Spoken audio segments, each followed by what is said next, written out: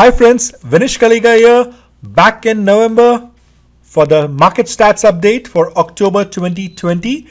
If you want to get updated on the market stats every month, do subscribe me on Facebook, Instagram, Twitter, YouTube, where you can have the market stats on your mobile, on your computer devices.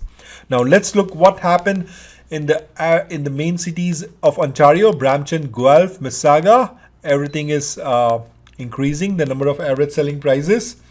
Do call me for listing your home for top dollars and let's watch what happened in individual market. Brampton, it took two weeks to sell a home.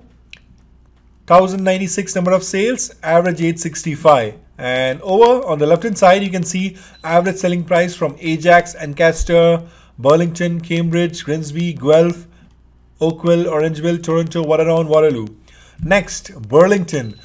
It took 17 days to sell a home, 891 averaging, 374 sales, 321 active listings.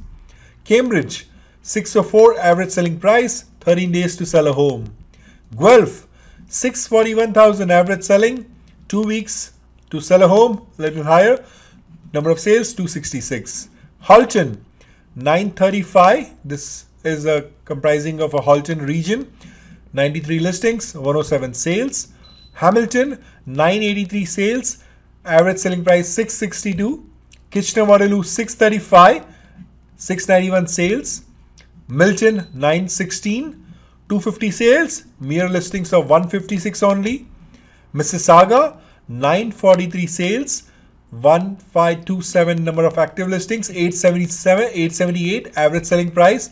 Niagara 693, 87 sales, 83 listings.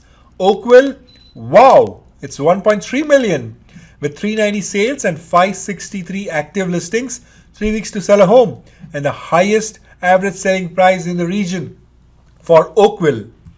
If you see Orangeville, 653 is the average selling price, 78 number of sales, 33 active listings, two weeks to sell a home. Toronto, 3,514 number of sales, 8,623 active listings, over a million dollar in average selling price, 17 days to sell a home.